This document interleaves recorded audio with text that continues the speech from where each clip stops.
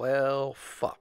That was something I never expected to hear. For those of you living under a rock or have been away from your mobile device for a sustained period of time, Cleveland Cavaliers center Tristan Thompson has been suspended for 25 games for violating the NBA NBA BA anti drug program. The earliest we could see Thompson return, if my math is correct, is against the Houston Rockets on March 16th. March 16th. That is nearly two fucking months. Damn. Thompson tested positive for the human growth hormone ibutamoren, an SARM-LGD 4033 or ligandrol, which is used to increase energy, improve athletic performance, as well as increase muscle growth, per WebMD. Both ibutamoren and ligandrol are included among the prohibited substances in the NBA's collective bargaining agreement.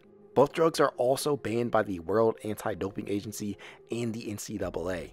Thompson signed a one year deal with the Cavaliers in September after not appearing in a single NBA game during the 2022 23 regular season.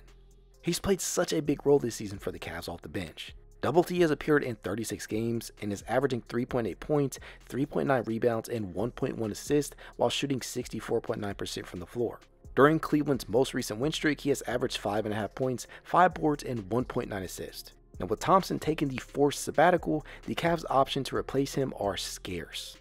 Damian Jones probably stands to gain the most, but he has largely been non impactful when he's seen the floor. Jones is averaging 1.7 points, 1 rebound, and 0.2 blocks per game this season across 18 appearances. The intrigue when he was brought in was the floor spacing element that he may have in his game. Over the duration of his career, he has completed 37.9% of his looks from the perimeter on very, very small volume, just 0.3 per game. Should the Cavs roll with him? Isaiah Mobley is also an option. He has made just 16 appearances between this season and last at the NBA level, putting up per game numbers of 2.3 points, 1.4 rebounds, while making 43.8% of his shots from the field. However, the bulk of his time has been spent with the Cavs G League affiliate, the Cleveland Charge, where he's excelling this year. In 12 appearances for the Charge, Mobley is contributing 22.2 points, 10.2 rebounds, and 3.5 assists while converting over 49.5% of his shots. Now, he still isn't quite knocking down the three ball as much as you would have hoped, but at least he can knock them down given enough volume.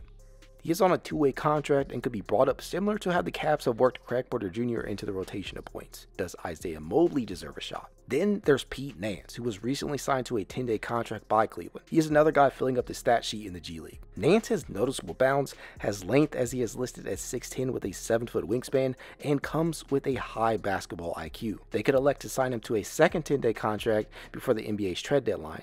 And if no moves are made at the deadline, the Cavs could easily convert CPJ's two way deal and hand it to Nance, therefore locking him up and wanting to go for the remainder of the year. That would get him an opportunity to see rotation minutes in Thompson's absence. The Cavs could also go the route of free agency, where players like Bismack Biyombo, DeMarcus Cousins, and even Nerlens Noel are all available or the trade market as well. Time will tell what they like to do, but this is quite the shock, you guys.